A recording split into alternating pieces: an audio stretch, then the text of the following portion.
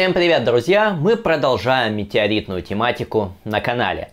И сегодня Тимур Кличко расскажет зрителям Astro Channel, где можно купить метеориты. Но для начала давайте узнаем, а по какому принципу коллекционируют метеориты. Ведь от понимания, что вы хотите получить, будет напрямую зависеть, где это покупать. Передаю слову Тимуру. Поехали!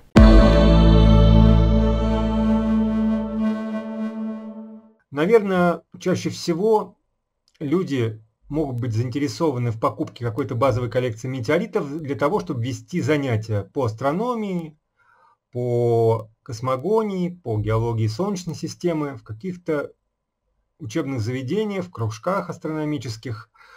И тогда, наверное, э, достаточно будет для такого человека иметь э, фрагменты разных типов метеоритов, железного метеорита, железокаменного метеорита, хондрита и ахондрита. То есть иметь вот четыре типа э, метеоритов. В каком виде это может быть? Э, это могут быть отдельные индивидуальные образцы, но они, как правило, тяжелые и э, в пересчете на этот вес достаточно дорогие. И порой трудно достижимо это, это желание. Проще иметь э, в коробочках э, спилы, точнее даже чаще всего пластинки четырех этих типов метеоритов.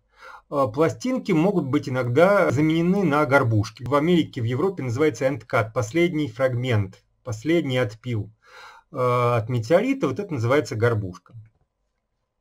Но опять же, горбушки при том же размере спиленной поверхности, они обычно более тяжелые, чем э, слайсы, чем ломтики, или как по-русски пластинки. Поэтому, наверное, самый дешевый вариант э, купить именно пластинки.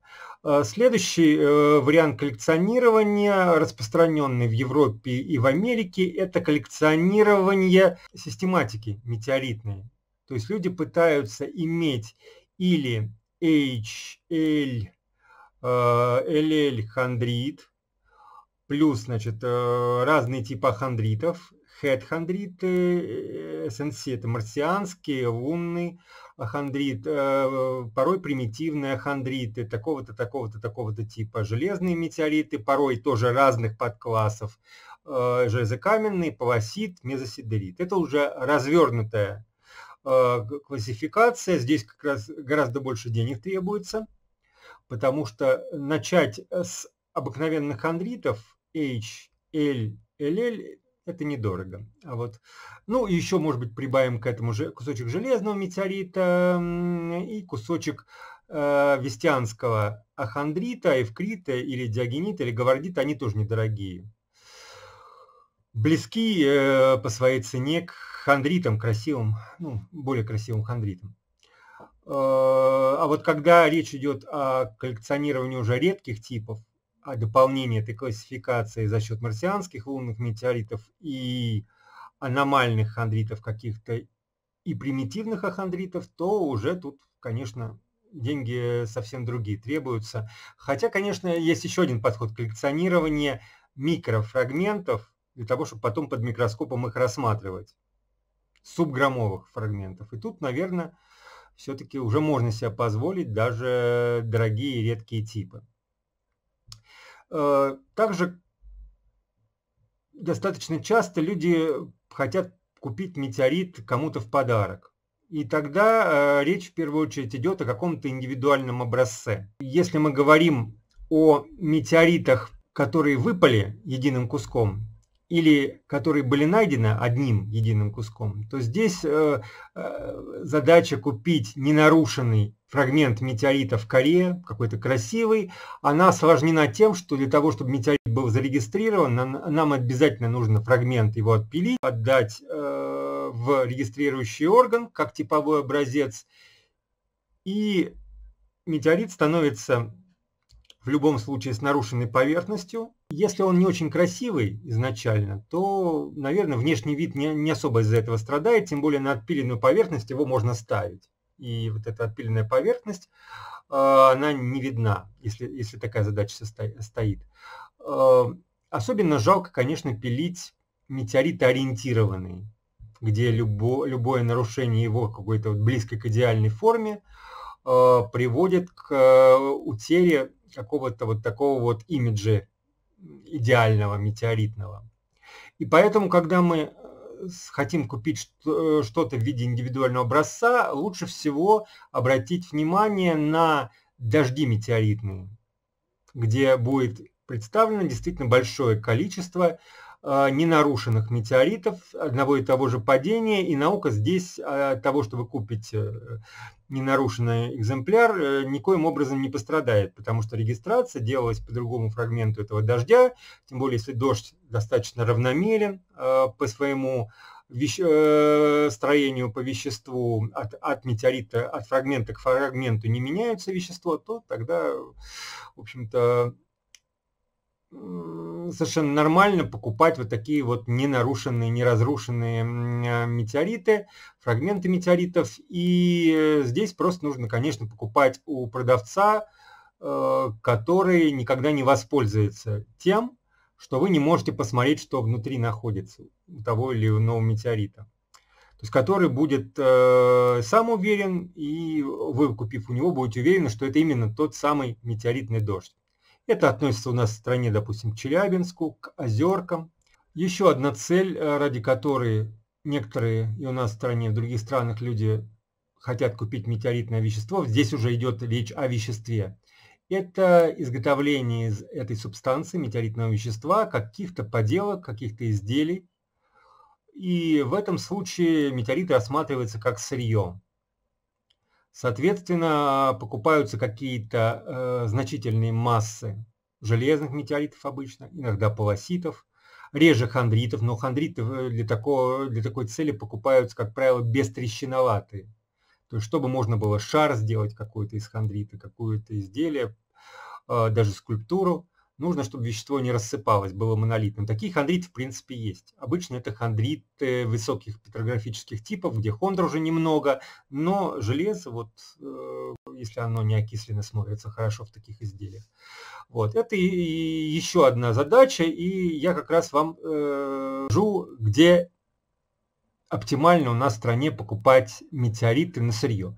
Э, лично я считаю, что это ну, не самый такой правильный путь, потому что все-таки вещество метеоритное уникальное, и использовать его для каких-то поделок, ну, не, не очень оптимально. Но в мире эти тенденции э, присутствуют, особенно много э, метеоритов на сырье железных и железокаменных метеоритов на сырье покупается в Гонконгом, Китаем континентальном.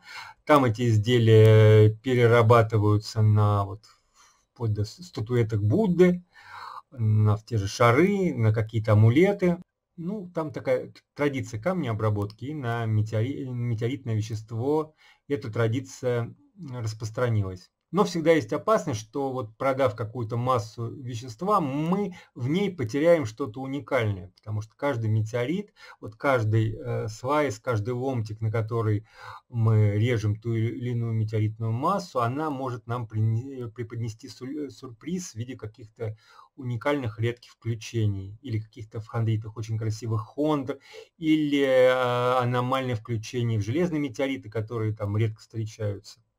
То есть, конечно, жалко вещество пускать на безделушки, по большому счету, на поделки. Сейчас Тимур расскажет, в каких, собственно, магазинах офлайновых и онлайновых можно купить метеориты. Но прежде чем он это сделает, хочу сразу предупредить, чтобы не было никаких там спекуляций. Это не реклама если под рекламой мы понимаем некое извлечение прибыли или каких-то других благ. Сама тема видео подразумевает конкретику, поэтому Тимур на основе своего личного опыта назовет лучшие, по его мнению, магазины и ресурсы. Вот здесь я выписал адреса магазинов и сайтов, на которых у нас в стране можно э, купить э, метеоритное вещество в том или ином виде. Я намеренно здесь э, не разместил сайт Авито, популярный, потому что на Авито у нас где-то 80% фейков метеоритных. То есть люди просто что-то находят, почему-то считают, что это метеорит, обычно не получив никаких подтверждений по этому поводу, и пытаются это все дело продать. Э, на том же, на тех же западных сайтах, площадках на eBay это тоже присутствует, особенно китайцы этим грешат. Вот, но, в общем-то, на eBay очень много и толковых, интересных вещей, об этом я сейчас буду говорить. А на Авито обычно появляются какие-то новые находки, то есть люди реально находят метеориты, редко, но находят на стране. Там эти метеориты появляются, и мгновенно есть у нас несколько людей, любителей, профессионалов, которые дело отслеживают и связываются с этими людьми и предлагают им какие-то свои условия. Если те соглашаются, метеорит покупается, э, регистрируется через комитет по метеоритам, и вот таким образом обнаруживаются иногда э, метеориты новые у нас в стране, выплывают, скажем так, и в странах ближнего зарубежья, в Казахстане в частности. Вот. Но для неопытных людей все-таки Авито нельзя советовать. Слишком много фейков.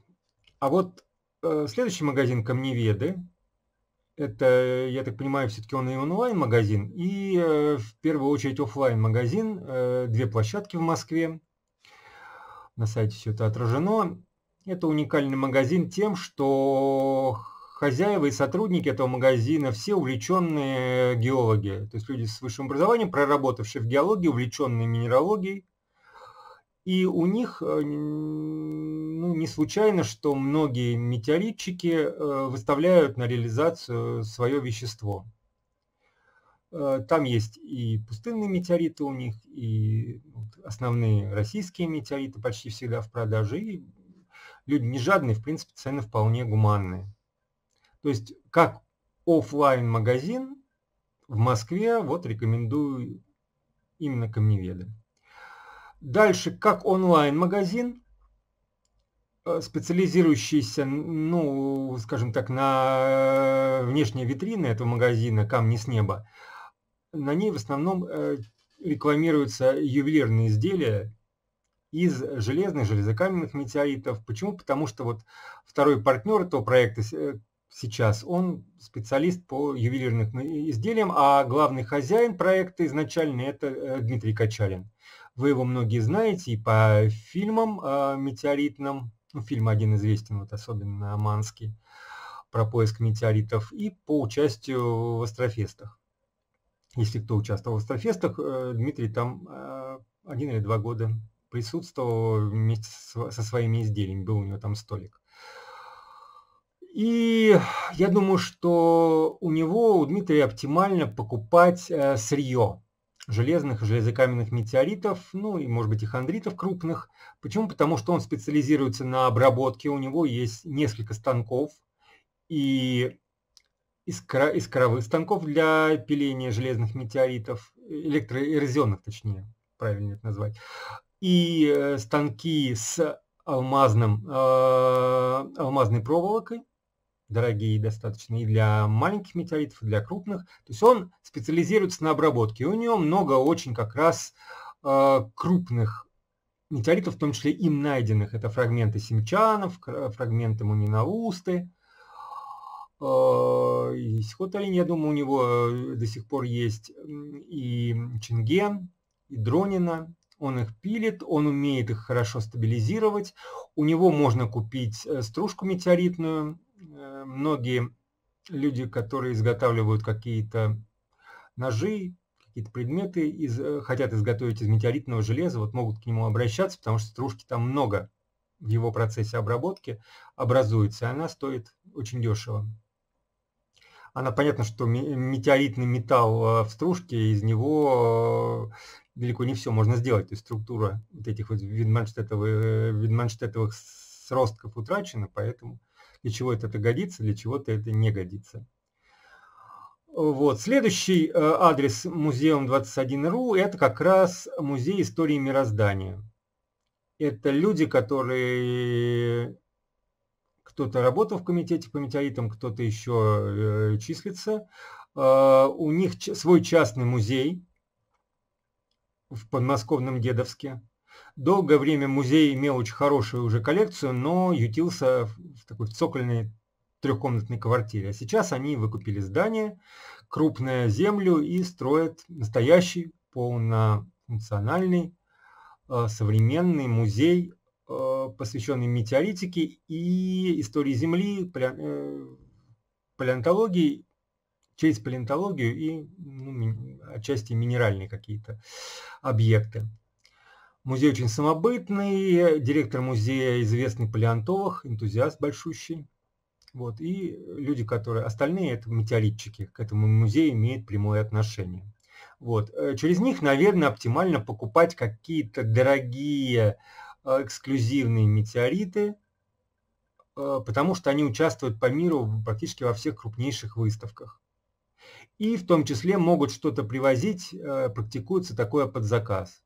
То есть человеку нужен какой-то, допустим, марчесон для того, чтобы или иметь дома вещество с 70 аминокислотами, прилетевшее к нам, Э, или с внешней части там пояса астероидов или еще с более далеких глубин, э, скажем так, даже не глубин, а расстоя... Э, более далеких расстояний в Солнечной системе. Не секрет, что есть там некоторые углистые хандриты, которые считаются практически с пояса Койпера к нам прилетели.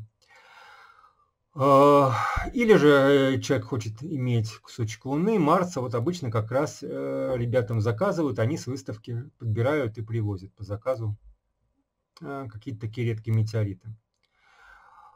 И нельзя сказать, опять же, не, нельзя не сказать о самой популярной в мире платформе eBay, где имеются магазины практически всех крупнейших и заслуженных и уважаемых мировых дилеров, и европейских, и американских, и где э, может посчастливиться купить метеориты и простые, и редкие за очень низкую э, стоимость.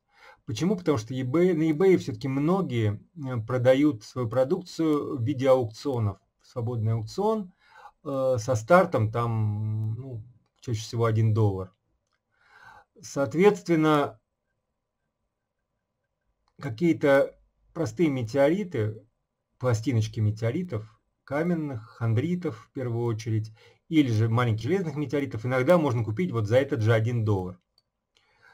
А, плюс многие продавцы на eBay объединяют доставку, поэтому купив, допустим, 5 а, фрагментов или 6 за рубежом метеоритных, вы можете попросить их положить в одну посылку и оплатить только одну стоимость пересылки.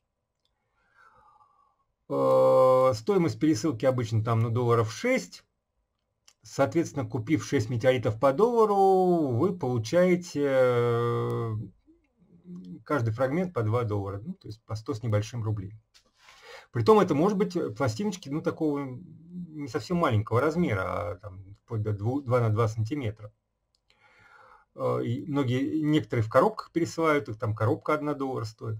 Поэтому э, это возможность такого немножко азартного процесса, возможность эм, приобрести что-то дешево.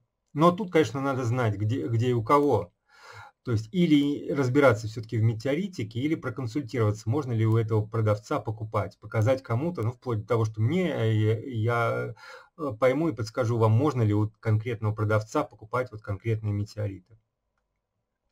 Это важно, потому что китайцы туда тоже лезут, и не сразу их там удается прищучить, и лезут со, своими, э, со своей галькой озерной и речной. Э, в общем, барахла там тоже хватает. И на eBay можно примерно прицениться к стоимости того или иного типа метеоритов. Это тоже важно. То есть, если вы у кого-то здесь заказываете, чтобы вам привезли, вы можете обсуждать цену, базируясь на eBay, потому что кроме аукционов там есть еще и э, фиксированные цены, но по фиксированным ценам метеориты обычно немножко, конечно, по завышенным продаются. То есть считается, что ну, каждое вещество, особенно редкое, найдет своего покупателя – поэтому э, цены немножко поднимают. Конечно, сейчас во время коронавируса покупать что-то на eBay несколько рискованно, с одной стороны, но с другой стороны продавцы там несут ответственность за доставку посылки. Если она к вам не пришла за два месяца, вы э, обращаетесь к продавцу, он обязан вам компенсировать стоимость посылки э, плюс, плюс пересылка. То есть вы, в принципе, не, не, теряете, ни одного доллара. Вот, но э, все-таки, э, пометуя о том, что плохо доходит сейчас посылки, можно пользоваться моментом и покупать что-то у российских продавцов на eBay, когда у вас практически 100% посылка дойдет и достаточно быстро.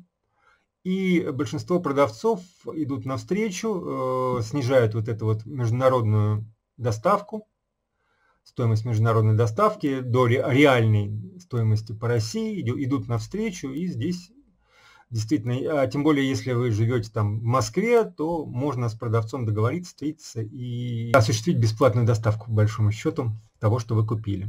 Поэтому этим можно сейчас пользоваться. Подводя итог тому, что я сегодня сказал, э, вам нужно определиться, если вы хотите иметь метеорит, в каком виде вы его хотите иметь, ненарушенный фрагмент, фрагмент э, с э, отпиленной какой-то частью для того, чтобы видеть вещество внутри, горбушка, как последний отрез индивидуального фрагмента метеорита, или же пластинки. А, ну еще одна, особенно мне близкая форма подачи метеоритного материала – это прозрачно полированный шлиф, который одновременно является исследуемым образцом, то есть э, образцом метеорита, пригодным для серьезных исследований. Но э, если человек покупает шлиф, у него должен быть все-таки микроскоп, по крайней мере биологический, и э, наличие поляризационных фильтров для, для того, чтобы хотя бы этим любоваться. Если он не собирается и не может исследовать, то для того, чтобы любоваться красотами, обычно красивее всего все-таки хондриты, примитивные, третьего типа, вот для этого нужно иметь микроскоп. Э, и второе, все-таки понять, одиночный вам экземпляр нужен или вы формируете коллекцию для какой, какой-то из целей, о которой я говорил в начале. Вот поэтому желаю вам свои потребности осознать, если действительно они серьезные, ну, вот сделайте этот первый шаг в мире метеоритном, в мире метеоритных коллекционеров, в мире людей, которые имеют дома фрагмент Солнечной системы, зная, что не могут полететь на тот же Марс, Луну или пояс астероидов, они хотят, чтобы эти небесные тела, тела были рядом с ними постоянно на книжной или на специализированной полке. Спасибо. Ну а на сегодня у нас все. Если хотите продолжение метеоритной тематики, то пишите в комментариях. Если понравилось видео, ставьте лайки и подписывайтесь на канал. Если хотите поддержать Astro Channel, то можете это сделать на Патреоне, ссылка в описании, а также нажав кнопку «Спонсировать» на YouTube. А я желаю вам ясного неба и успешных наблюдений. Пока!